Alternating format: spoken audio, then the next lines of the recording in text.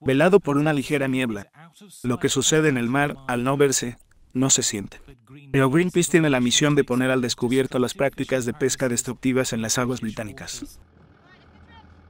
Durante seis meses, sus barcos patrullarán áreas presumiblemente protegidas cerca de la costa sur, en busca de superarrastreros con redes de una milla de largo que recogen todo lo que encuentran por el camino. A un par de millas de la costa, conversamos con David. En su pequeño barco no puede competir, pues apenas quedan peces.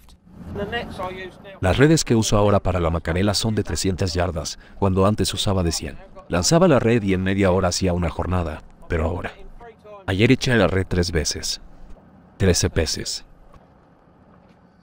La operación Ocean Witness, testigo del océano, también busca pruebas de esto. La devastación desgarrada y casi mortífera provocada por los arrastreros, que barren el fondo con pesados aparejos de pesca.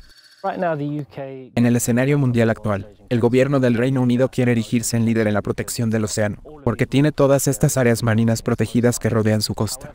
Pero dentro de esas áreas, aún te permiten hacer prácticamente lo que quieras. Y estamos viendo pesca de arrastre, es decir, arrastrando redes por el fondo del mar. Estamos viendo dragado, y estamos viendo todo tipo de pesca destructiva, que es completamente insostenible.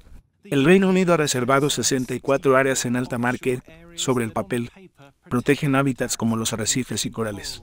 Pero en 62 de ellas, el año pasado los arrastreros barrieron el fondo con pesados aparejos de pesca durante un total de 68.000 horas, lo cual representa un aumento del 10% desde 2019. Greenpeace quiere que se prohíba esta práctica en las áreas de conservación.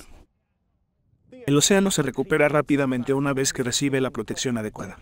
Las investigaciones sugieren que dentro de cinco años ya hay tantos peces que se extienden a las áreas circundantes, donde los barcos de pesca pueden operar.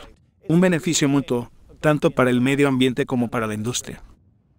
El gobierno estudia unos planes para prohibir a los arrastreros que remolquen sus aparejos de pesca en el fondo de cuatro zonas de conservación. Greenpeace dice que esto no es para nada suficiente. El 30% del océano necesita una protección significativa para sustentar la vida marina y para mantener el pescado en el menú. Thomas Moore, Sky News, New Haven.